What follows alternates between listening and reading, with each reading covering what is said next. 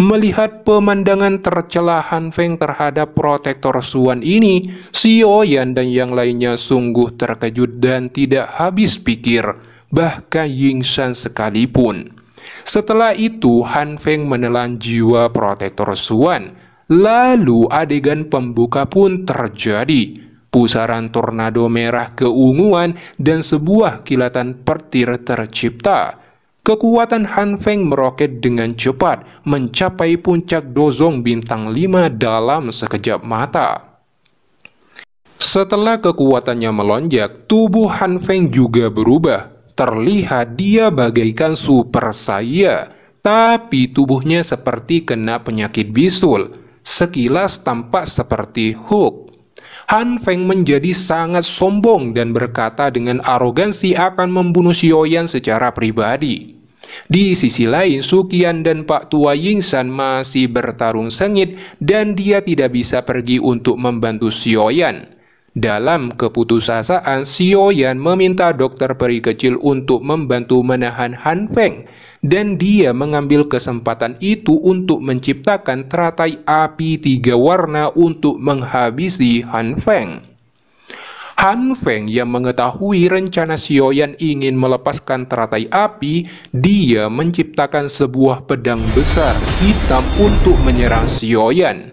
Melihat serangan mematikan ini, dokter peri kecil melepaskan teknik hujan korosif langit, yang di mana hujan racun terjadi dan menahan serangan pedang jiwa ini. Melihat serangannya ditahan, Han Feng menyalurkan energi spiritualnya dan energi spiritual terpancar dari pedang jiwa. Tidak hanya itu, pancaran energi spiritual ini juga menyerang jiwa dokter peri kecil, hingga pedang jiwa bergerak dan menyerangnya. Dalam keputusasaan, dokter peri kecil melepaskan tubuh racunnya lagi, sembari menggunakan teknik tangan racun langit sinister untuk menghancurkan serangan pedang jiwa Han Feng. Sekarang kekuatan dokter peri kecil telah meningkat. Dia berjalan selangkah demi selangkah menuju Han Feng sembari menghunuskan pedangnya dan mengeluarkan pancaran energi racun. Han Feng yang terkena pancaran itu langsung terpukul mundur. Dokter peri kecil segera melesat ke depan dan Han Feng juga melesat ke arah dokter peri kecil. Keduanya pun saling beradu kekuatan tinju dan pedang secara eksplosif. Di sisi lain, Xiaoyan telah hampir membentuk teratai apinya.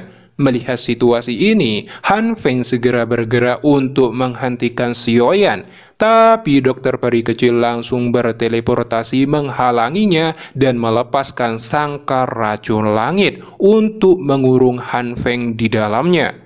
Setelah itu, dokter peri kecil dan Han Feng kembali beradu kekuatan. Dikarenakan perbedaan kekuatan yang cukup besar, dokter peri kecil bukan tandingan Han Feng dan dengan cepat ditekan dan dipukuli oleh Han Feng hingga terluka serius. Sayangnya Han Feng hanya memiliki kekuatan dolong bintang 5, jadi dia tidak bisa dengan mudah membunuh dokter peri kecil. Tepat ketika dokter peri kecil akan dibunuh oleh Han Feng, teratai api tiga warna di tangan Xiaoyan akhirnya selesai.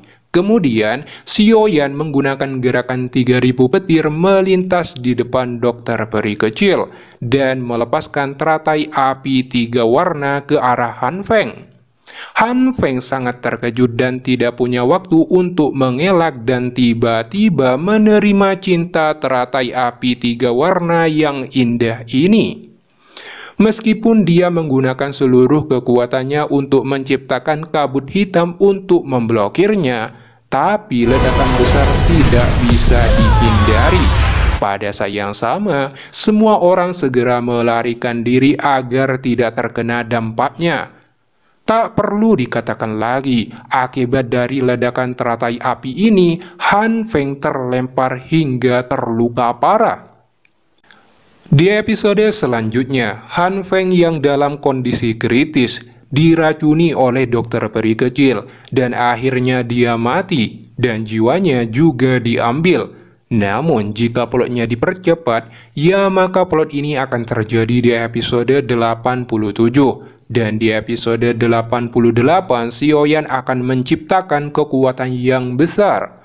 Harus dikatakan bahwa plot animasi Battle Truck Defense Season 5 dipercepat untuk memasuki bab dataran tengah. Kemungkinan ada plot cerita yang akan dihapus atau dimodifikasi. Namun ini hanya spekulasi liar mimin sepihak. Tidak tahu pihak resminya bagaimana nanti akan menjelaskan di animasinya.